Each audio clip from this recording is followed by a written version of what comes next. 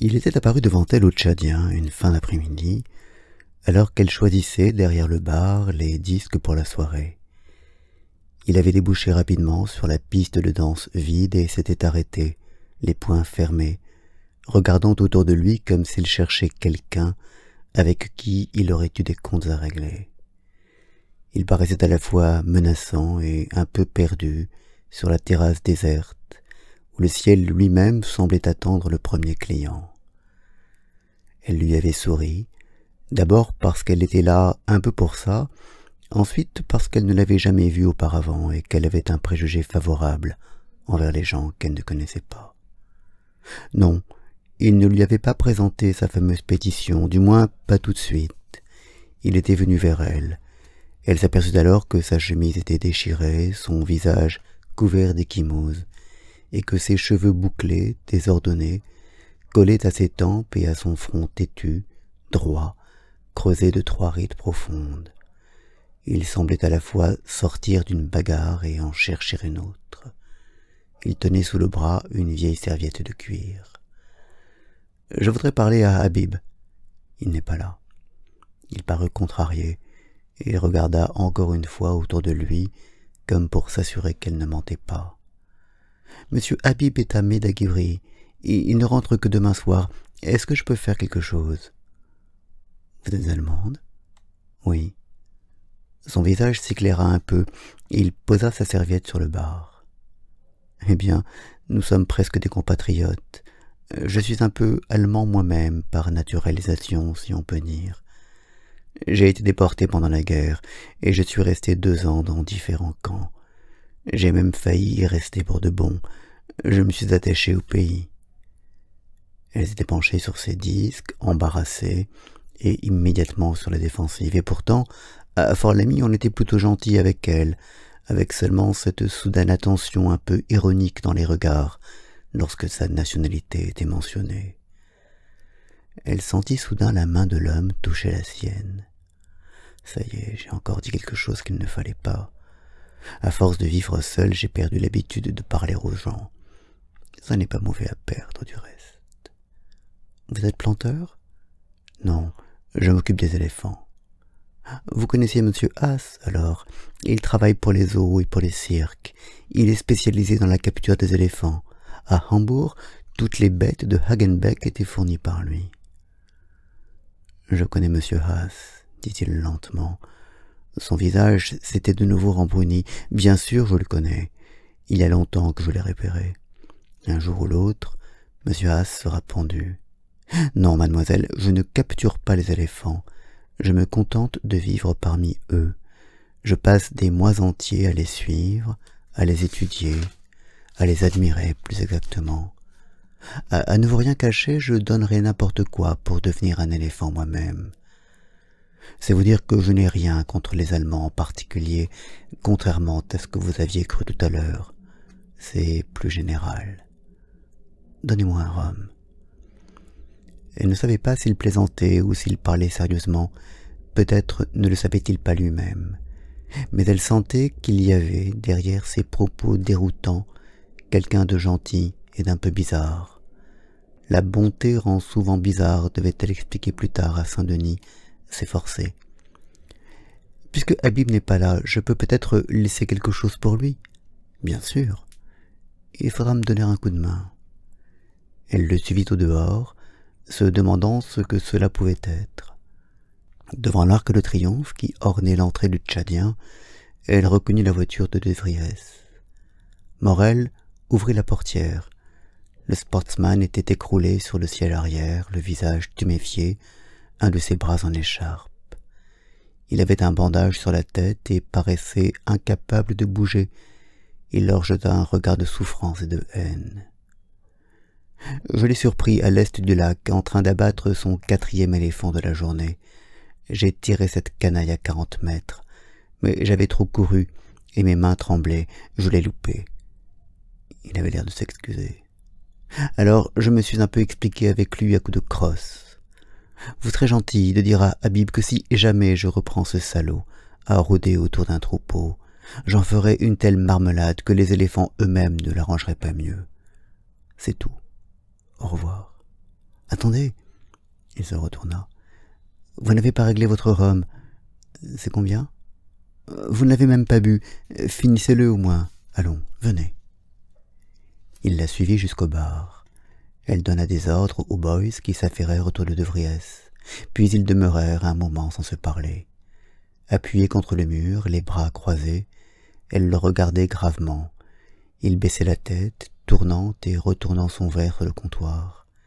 Elle attendait, tranquille, avec une assurance extraordinaire, et il lutta un moment contre cet appel muet. Puis il tourna les yeux vers le fleuve, vers l'autre rive. Il y avait là, comme dans tout paysage africain, une place immense à prendre, une place illimitée, et comme mystérieusement désertée par quelque présence formidable. Cela évoquait irrésistiblement l'image de quelques bêtes préhistoriques aujourd'hui disparues, à la mesure de cet espace vide et abandonné qui paraissait réclamer son retour. Il sourit et se mit à lui parler doucement, gentiment, un peu comme on parle aux enfants. Il ne lui dit ni qui il était, ni d'où il venait, mais lui parla des éléphants comme si c'était la seule chose qui comptait. C'était par dizaines de milliers, disait-il, que les éléphants étaient abattus chaque année en Afrique, trente mille l'année dernière et il était décidé à tout faire pour empêcher ces crimes de continuer. Voilà pourquoi il était venu au Tchad. Il avait entrepris une campagne pour la défense des éléphants.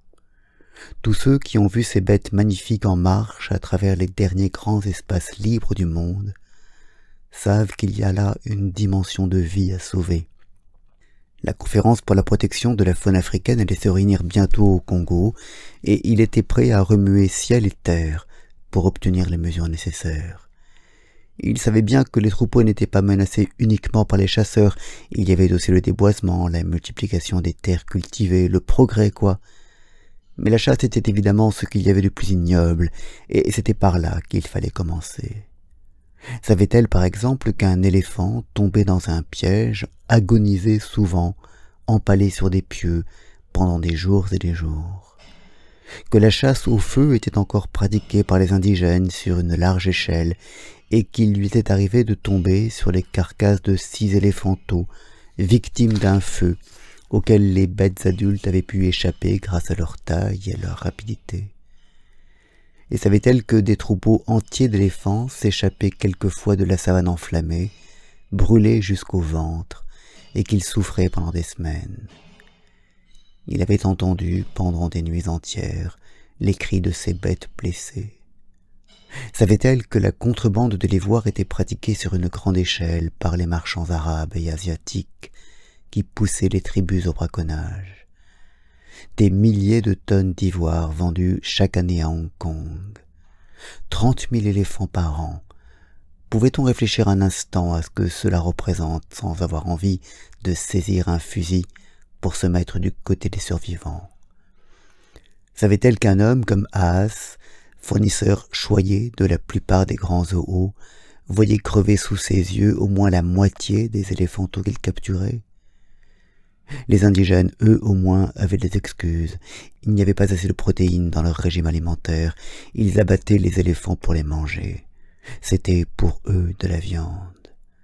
La préservation des éléphants exigeait donc en premier lieu l'élévation du niveau de vie en Afrique, condition préalable de toute campagne sérieuse pour la protection de la nature.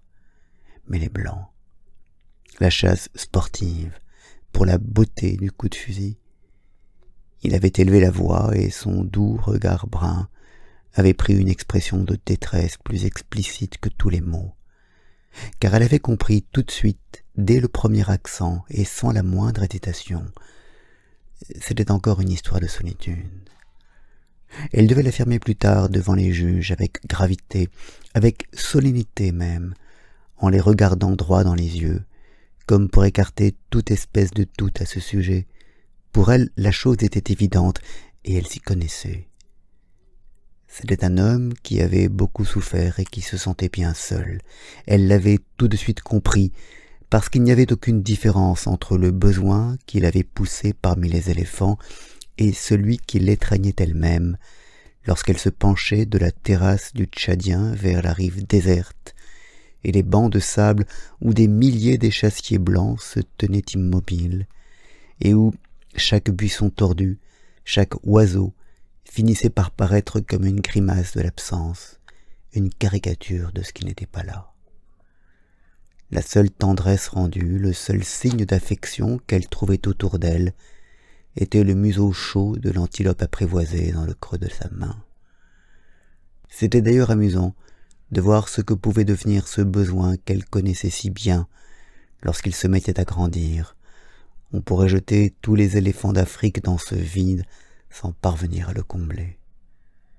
Elle ne bougeait pas, appuyée contre le mur, s'efforçant de ne pas interrompre, de ne pas sourire aussi à l'idée que jamais sans doute un homme n'avait parlé ainsi des éléphants à une femme.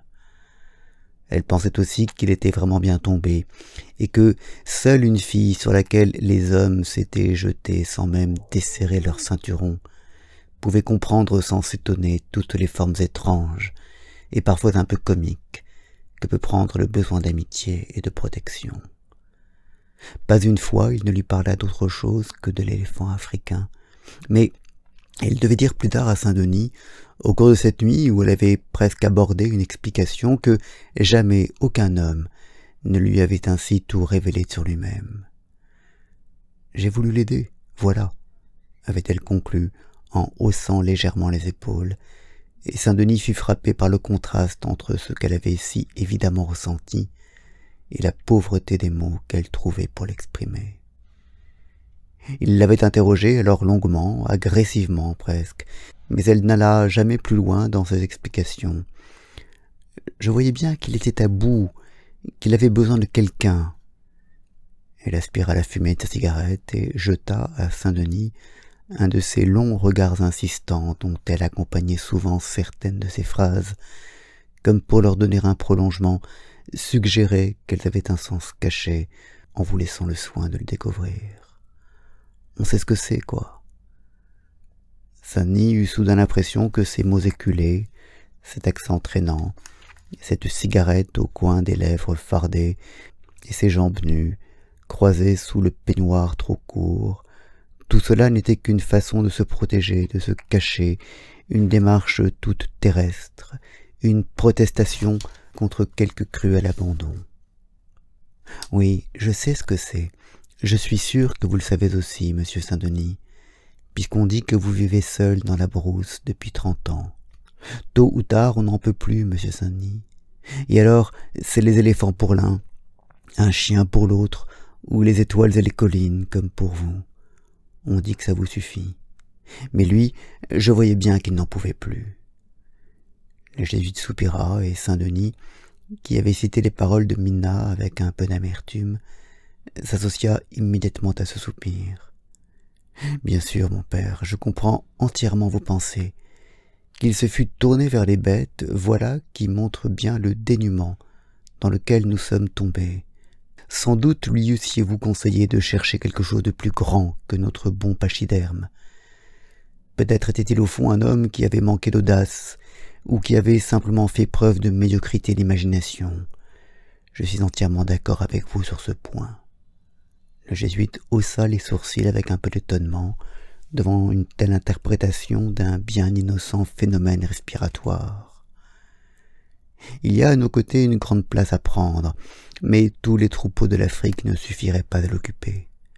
L'âme humaine, mon père, c'est autre chose que le continent africain, lequel est vaste incontestablement, mais enfin limité, enfermé qu'il est entre des mers et des océans. Le père Tassin baissa un peu les yeux. Il se sentait toujours gêné lorsqu'on lui parlait de l'âme humaine avec tant d'assurance. J'ai voulu l'aider, voilà. Il comprenait beaucoup mieux cette explication de Mina. Le crépuscule tombait rapidement dans un silence étonnant, qui semblait toujours choisir ce moment pour venir se poser sur le fleuve et sur les roseaux, parmi les derniers oiseaux encore éveillés. Morel continua à parler de cette voix sourde, grondante, pleine d'une passion contenue. Puis il s'interrompit et leva les yeux. Je vous ennuie avec mes histoires. Ne m'ennuyez pas. Ce n'est pas comme ça qu'on m'ennuie. Je dois vous dire aussi que j'ai contracté en captivité une dette envers les éléphants dont j'essaye seulement de m'acquitter. C'est un camarade qui avait eu cette idée après quelques jours de cachot, un mètre dix sur un mètre cinquante. Alors qu'il sentait que les murs allaient l'étouffer, il s'était mis à penser au troupeau d'éléphants en liberté, et chaque matin, les Allemands le trouvaient en pleine forme, en train de rigoler. Il était devenu increvable. Quand il est sorti de cellule, il nous a passé le filon, et chaque fois qu'on n'en pouvait plus dans notre cage, on se mettait à penser à ces géants, fonçant irrésistiblement à travers les grands espaces ouverts de l'Afrique. Cela demandait un formidable effort d'imagination, mais c'était un effort qui nous maintenait vivants. Laissés seuls, à moitié crevés, on serrait les dents, on souriait, et les yeux fermés, on continuait à regarder nos éléphants qui balayaient tout sur leur passage, que rien ne pouvait retenir ou arrêter. On entendait presque la terre qui tremblait sous les pas de cette liberté prodigieuse, et le vent du large venait emplir nos poumons. Naturellement, les autorités du camp avaient fini par s'inquiéter, le moral de notre bloc était particulièrement élevé, et on mourait moins. Nous ont serré la vis. Je me souviens d'un copain, un nommé Fluche, un Parisien, qui était mon voisin de lit. Le soir, je le voyais, incapable de bouger. Son pouls était tombé à trente-cinq, mais de temps en temps, nos regards se rencontraient. J'apercevais au fond de ses yeux une lueur de gaieté à peine perceptible, et je savais que les éléphants étaient encore là, qu'il les voyait à l'horizon. Les gardes se demandaient quel démon nous habitait. Et puis, il y a eu parmi nous un mouchard qui leur a vendu la mèche. Vous pouvez vous imaginer ce que cela a donné. L'idée qu'il y avait encore en nous quelque chose qu'ils ne pouvaient pas atteindre, une fiction, un mythe qu'ils ne pouvaient pas nous enlever et qui nous aidait à tenir, les mettait hors d'eux. Et ils se sont mis à fignoler leurs égards. Un soir, Fluche s'est traîné jusqu'au bloc et j'ai dû l'aider à atteindre son coin. Il est resté là un moment, allongé, les yeux grands ouverts, comme s'il cherchait à voir quelque chose, et puis il m'a dit que c'était fini, qu'il ne les voyait plus, qu'il ne croyait même plus que ça existait.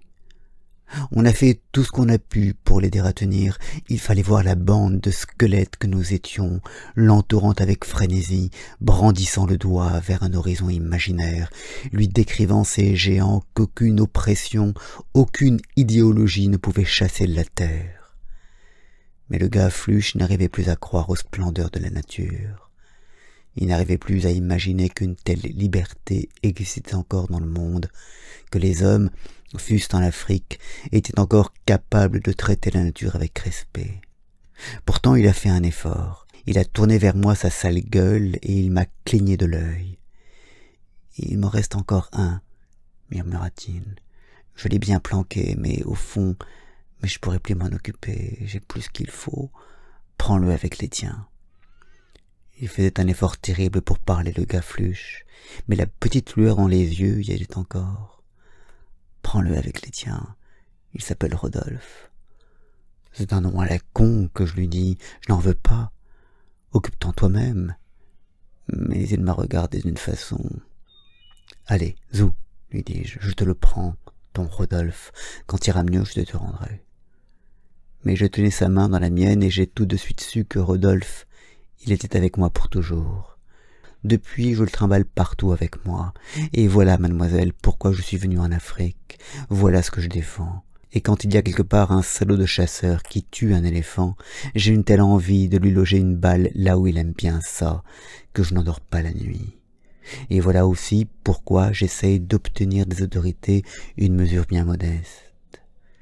Il ouvrit sa serviette, prit une feuille de papier et la déplia soigneusement sur le comptoir.